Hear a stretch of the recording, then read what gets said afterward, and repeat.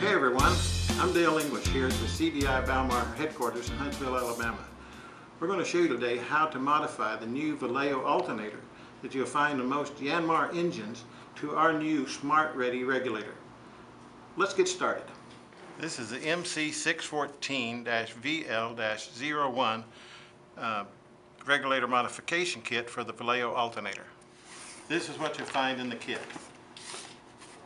You got the 30-SR12-02, which will consist of the new regulator, the plastic cap, and all the accessories you need to make the modification.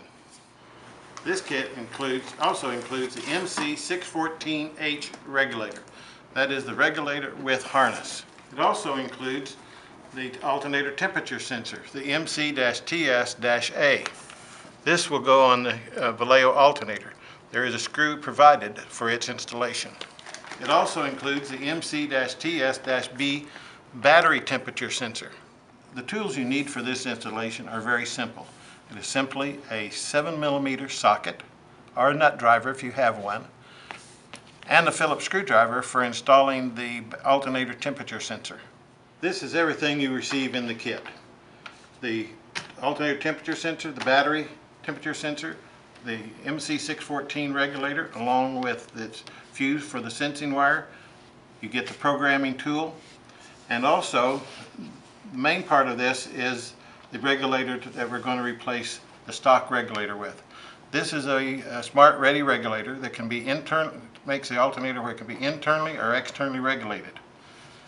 This comes with a little cap that after you make the installation, you pull the brush retainer part off and then this will slide over as we'll show you in the um, demonstration of how to do that. But that is a part that comes on after you remove the bearing retainer. And then we got a plastic cover that uh, fits on the back of it that is the end part of the installation. This is the this is the new Valeo alternator that you'll find on a lot of the new Yanmar engines. Being that it is 120 amp, most people did not want to replace the alternator but have our Smart Ready regulator.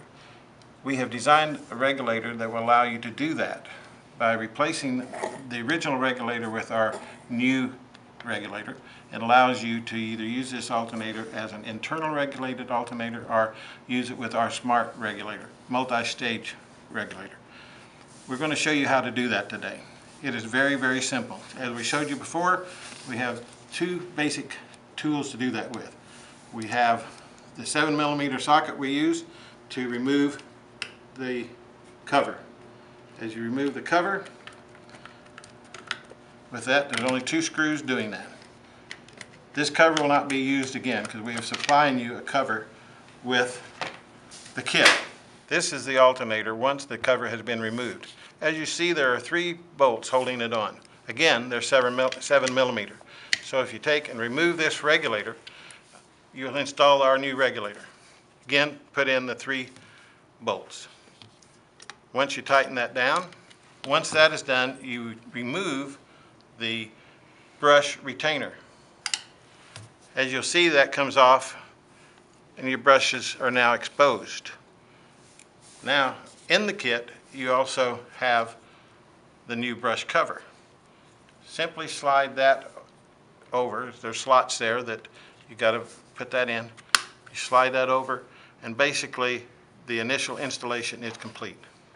Once you install the regulator and tighten the three screws, you now install the plastic cover. The red wire is your sensing wire. We have drilled a hole in the cover for that. You simply take, pull that wire through that hole, and then slide your cover on, lining the mounting bolts up with the holes in the alternator. Takes a little bit. You want to make sure it's down tight and snug.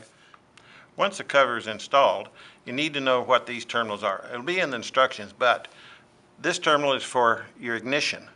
You will not put power to this terminal if you're using the external regulator. In fact, you do not want to have anything on this terminal if you're using the external regulator. However, for an emergency, or if you want to just use the internal regulator, you need to have ignition hooked to this terminal and this terminal, this wire going to the battery for sensing. Second terminal here is your field terminal. That terminal will be connected to the external regulator that is in the kit. This is the alternator temperature sensor.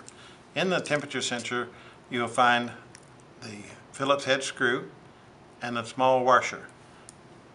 You put those together like that, small washer underneath the screw, between it and the lug for the temperature sensor. There's a hole here on the side, and you want to screw that in. Once you finally screwed in the uh, temperature sensor to the alternator, you want to make sure you connect the other end to terminals number five and six on your MC614. That should complete your installation. Thanks for watching. We'll see you next time. For product, contact your local Yanmar dealer or the Balmar distributors as listed on our website, which is balmar.net.